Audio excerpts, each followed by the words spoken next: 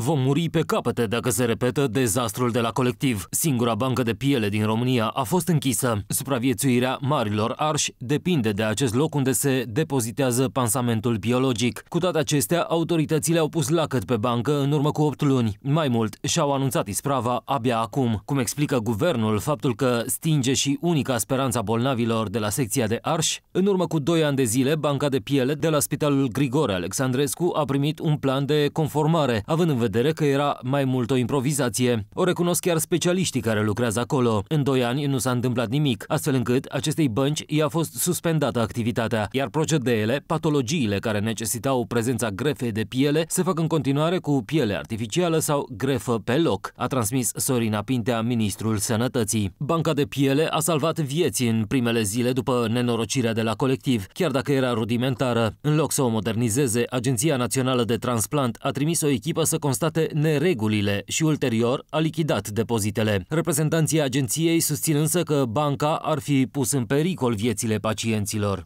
Era o aparatură veche de peste 18 ani, este, nu exista un uh, personal propriu dedicat acestei activități, uh, o lipsă de finanțare de ani de zile și, bineînțeles, neîndeplinirea unor circuite distincte ale băncii de piele, care să fie conforme cu directivele europene.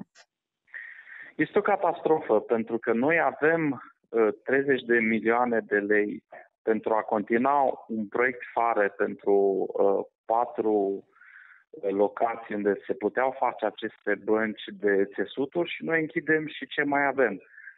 Iar la nivel guvernamental ideea care se tot reia, în caz de necesitate, îi urcăm pe români în avion și cerșim ajutor din exterior. Nu există nicio uh, strategie decât celebrul vom face, promitem că. Totuși, de când a venit Anca Baculea la Agenția Națională de Transplant, am această speranță că va revitaliza acest proiect pentru uh, noi bănci. Banca de piele a funcționat timp de 22 de ani și se află lângă sala de operație a Spitalului Clinic de Urgență pentru Copii Grigore Alexandrescu, acolo unde erau tratați cei cu arsuri. Țesuturile erau prelevate de la pacienți aflați în moarte clinică și erau criogenate la minus 80 de grade. În final erau depozitate în recipiente speciale. După incidentul de la clubul colectiv, în depozitul băncii mai erau 7000 de centimetri pătrați de țesut. Acum, singura șansă de supraviețuire a unui român care care suferă arsuri grave este un spital din străinătate. Asta deși autoritățile ne duc cu vorba din 2014 și spun că vor deschide patru bănci de piele.